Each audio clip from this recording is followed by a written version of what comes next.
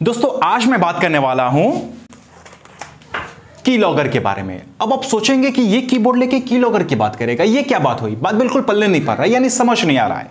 तो बने रहिए इस वीडियो के साथ। तो बिना वक्त जाए किए इस वीडियो को शुरू करते हैं। दोस्तों, अगर आप फेसबुक ट्विटर जीमेल लिंक्डइन वगैरह यूज़ करते हैं या फिर कोई भी सोशल नेटवर्क साइट यूज़ करते हैं अपने स्मार्टफ़ोन में या अपने कंप्यूटर में तो ये वीडियो आपके लिए ही है। अगर आपने इस वीडियो को मिस कर दिया तो फिर बाद में आप अफसोस करते रह जाएँगे कि हे भगवान, ये हमारे साथ क्या हो गया? काश ये बात हमका पहले पता चल गया होता तो आज हमका ये दिन देखने को ना पड़ते। जी हाँ दोस्तों सोशल मीडिया पे आपके जितने भी अकाउंट्स हैं like Facebook Gmail Twitter LinkedIn वगैरह, वो सारे अकाउंट्स यहाँ तक कि आपके बैंक अकाउंट्स भी हैक हो सकते हैं। हालाँकि अभी तक न जाने कितने सारे अकाउंट्स हैक हो चुके हैं। आपकी एक छोटी सी गलती आपका खाता खाली कर सकता है। यानी आपके बैंक अकाउंट से सारे पैसे उड़ाए जा सकते हैं, लेकिन कैसे? तो मैं आपको बता दूँ कि की लॉगर की मदद से। अब ये की लॉगर क्या होता है, ये कैसे काम करता है और कैसे की लॉगर की मदद से अकाउंट से सारे पैसे उड़ाए जा सकते हैं। लेकिन सबसे अहम सवाल यह है कि इससे बचें कैसे? ताकि हमारे सोशल मीडिया पे जितने भी अकाउंट्स है, वो हैक ना हो। और हमारा बैंक अकाउंट बिल्कुल सुरक्षित रहे, ताकि कोई भी पर्सन या कोई भी हैकर उसे हैक ना कर पाए। तो आज मैं इन्हीं सब चीज़ों के बारे में डिस्कस करने वाला हूँ। तो चलिए जानते हैं कि कीलॉगर क्या होता है। देखिए कीलॉगर एक ऐसा सिस्टम होता है, ऐसा प्रोग्राम होता है जो कि सभी के स्ट्रोक को रिकॉर्ड करता है एक डिवाइस में। मतलब ये कि जैसे मान लीजिए आपके पास एक कंप्यूटर है और उसमें कीबोर्ड कनेक्टेड है और किसी पर्सन है या फिर हैकर ने आपके सिस्टम में की लॉगर लगा दिया हो। यानी आपके कंप्यूटर में की लॉगर लगा दिया हो। और आप अपने सिस्टम पे फेसबुक जी मेल ट्विटर लिंक्डइन वगैरह यूज़ कर रहे हैं, या फिर आप बैंकिंग सेक्टर का कोई साइट यूज़ कर रहे हैं तो आपकी सारी डिटेल्स लाइक यूज़र आईडी और पासवर्ड ओवरऑल आपने कीबोर्ड से जितने भी बटन दबाए हैं, जो भी टाइप किए हैं, वो सारी चीज़ें की लॉगर के ज़रिए रिकॉर्ड हो जाती है। और जिसने भी की लॉगर लगाया होता है, वो बाद में उसे निकाल लेता है, और फिर वो जो चाहे कर सकता है। मतलब ये कि आप, यूँ समझिए कि आपके सारे अकाउंट्स हैक हो चुके हैं। वो आपके अकाउंट से चुटकियों में पैसे उड़ा सकता है। दोस्तों की लॉगर का यूज़ ज़्यादातर टारगेटेड अटैक करने के लिए किया जाता है। दोस्तों की लॉगर जो है, वो बेसिकली दो वैरायटी में आते हैं। पहला सॉफ्टवेयर बेस्ड दूसरा हार्डवेयर बेस्ड सॉफ्टवेयर बेस्ड में होता यह है कि जब आप कंप्यूटर पे इंटरनेट यूज़ करते हैं तो ऑब्वियस सी बात है कि आप इंटरनेट पे बहुत सारे वेबसाइट सर्व करते हैं, बहुत सारे लिंक्स पे क्लिक करते हैं। और ऐसा भी होता है कि आप अननोन लिंक्स पे भी क्लिक कर देते हैं। और आपको पता नहीं होता है कि आपने जिस लिंक पे क्लिक किया है वो मलिसियस लिंक था। फिर की लॉगर सॉफ्टवेयर हो जाता है इंस्टॉल फिर आपके सारे की स्टॉक को, यानी आप कीबोर्ड से जो भी बटन टाइप कर रहे हैं, जो भी आईडी पासवर्ड डाल रहे हैं, वो सारी चीज़ें रिकॉर्ड हो जाती है और उसके पास चली जाती है, जिसने भी की लॉगर सॉफ्टवेयर बनाया होता है। और फिर वो आपके सिस्टम को रिमोटली मॉनिटर करता है, कहीं दूर बैठे आपके सिस्टम पे नज़र बनाए रखता है कि आप कीबोर्ड से क्या क्या टाइप कर रहे हैं क्या क्या आप आईडी पासवर्ड डाल रहे हैं, वो सारी चीज़ें उसको पता चलते रहता है। आपको बता दें कि की लॉगर को हम स्पाईवेयर भी कहते हैं। कई बार क्या होता है कि लोग कीबोर्ड ड्राइवर समझकर किसी सॉफ्टवेयर को इंस्टॉल कर लेते हैं बट एक्चुअल में वो की लॉगर होता है। और दोस्तों, दूसरा सिस्टम जो है की लॉगर का, वो है hardware based key logger hardware based key logger को पहचाना बहुत ही ज़्यादा आसान है। क्यों? क्योंकि हार्डवेयर बेस्ड की लॉगर मतलब आसानी से देख सकते हैं। क्योंकि ये मेनली डोंगल के फॉर्म्स में होते हैं। या फिर आप यू कह लें कि ये पेन ड्राइव के जैसे होते हैं, जो लगे होते हैं यूएसबी पोर्ट में। और फिर वो बंदा सारी चीज़ें मॉनिटर करते रहता है कि आप कीबोर्ड से क्या क्या चीज़ टाइप कर रहे हैं क्या क्या आईडी लॉगिन कर रहे हैं क्या क्या पासवर्ड डाल रहे हैं, वो सारी चीज़ें। कौन बंदा? जो की लॉगर लगाता है, वो बंदा। दोस्तों, इसके अलावा एक और नेक्स्ट लेवल की चीज़ है, वो ये है कि किसी ने कीबोर्ड के अंदर ही की लॉगर को फिट कर दिया हो। उसको हम कहते हैं की ग्रैबर मॉड्यूल और फिर आप कीबोर्ड से क्या क्या चीज़ टाइप कर रहे हैं, वो सारी चीज़ें वायरलेस ही ट्रांसमिट कर सकता है। या फिर जिसने भी उसके, इसके अंदर फिट किया है मतलब कीबोर्ड के अंदर फिट करता है, वो बाद में उसको निकाल के ले जाता है।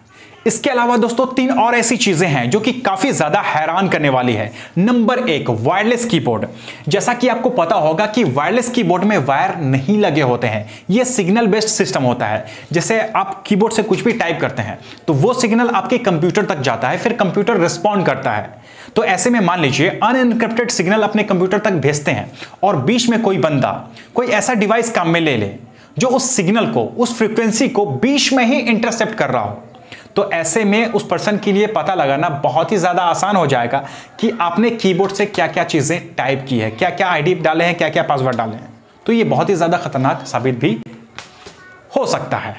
और दोस्तों, दूसरा जो है, वो थोड़ी सी हाईटेक है। वो ये है कि जब आप कीबोर्ड से कुछ भी टाइप करते हैं तो किस की जो आवाज़ होती है, वो काफ़ी अलग होती है।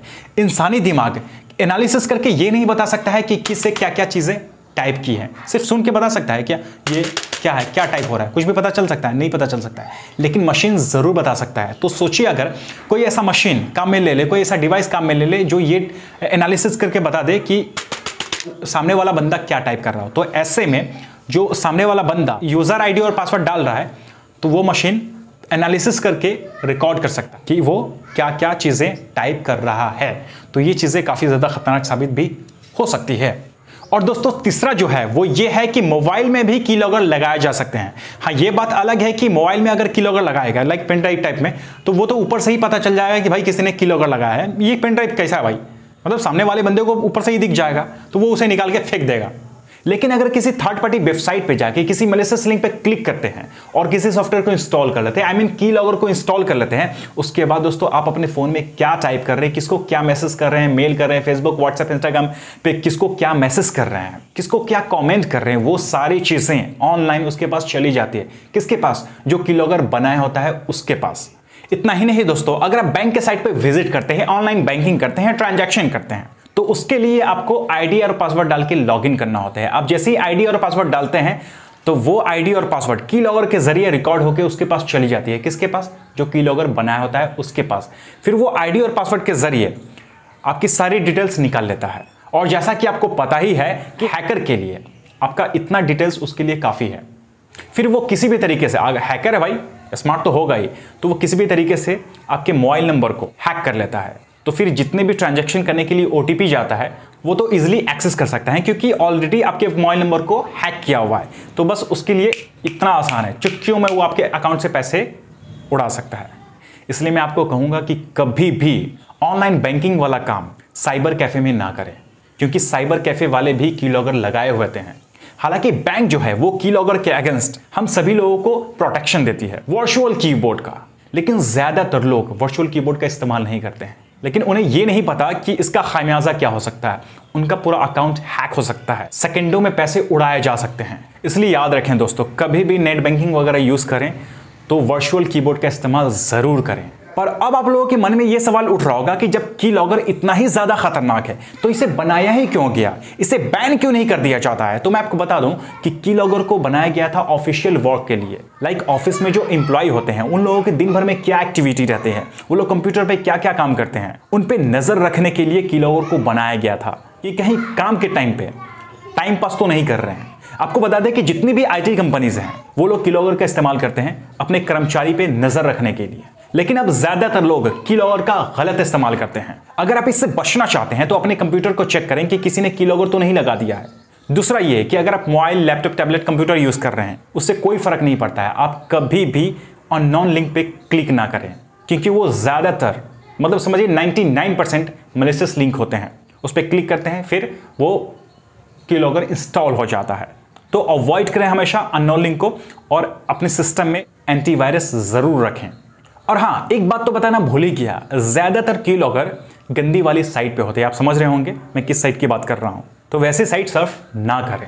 वरना वायरस आने के ज़्यादा चांसेस होते हैं। वायरस में भी बहुत तरह के होते हैं, बहुत ज़्यादा डेंजरस भी होते हैं। अगर आप वायरस के बारे में पूरी डिटेल में जानना चाहते हैं तो लिंक डिस्क्रिप्शन में है, आप जाके चेक ज़रूर करें। उस वीडियो को देखें। तो खैर, मैंने आपको क्लियरली समझा दिया कि किलोगर क्या होता है, ये कैसे काम करता है और कैसे किलोगर की मदद से आपके सोशल मीडिया पे जितने भी अकाउंट्स है, वो हैक हो सकते हैं। इवन आपका बैंक अकाउंट भी हैक हो सकता है। अगर अभी भी कोई सवाल या सुझाव है तो आप मुझे कमेंट करके ज़रूर बताएँ। मैं जल्द से जल्द रिस्पॉन्ड करने की कोशिश करूँगा। अगर आपको ये वीडियो अच्छी लगी तो इसे लाइक करें, अपने दोस्तों के साथ शेयर करें। क्योंकि ये बहुत ही ज़्यादा इंफॉर्मेटिव वीडियो है। आप इस वीडियो को जितना ज़्यादा हो सके उतना ज़्यादा शेयर करें। अगर आप हमारे चैनल पर नए हैं तो जल्दी से इस टेक्निकल मैदान यूट्यूब चैनल को सब्सक्राइब करके बेलाइकन को प्रेस ज़रूर करें, ताकि आगे भी ऐसे ही इंफॉर्मेटिव वीडियोज़ आप तक पहुँच सके। तो मैं मिलता हूँ अगली वीडियो में। तब तक के लिए जय हिंद, जय भारत।